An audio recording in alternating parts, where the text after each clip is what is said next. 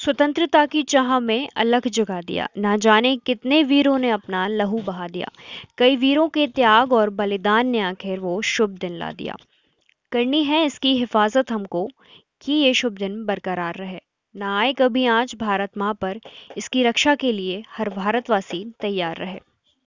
Civil अस्पताल, बरघाट प्रभारी Shrimati Usha Pandey. Barghat civil अस्पताल के प्रभारी श्रीमती उषा पांडे एवं समस्त स्टाफ की ओर से 15 अगस्त स्वतंत्रता दिवस। ज़िले व क्षेत्रवासियों को हार्दिक शुभकामनाएँ।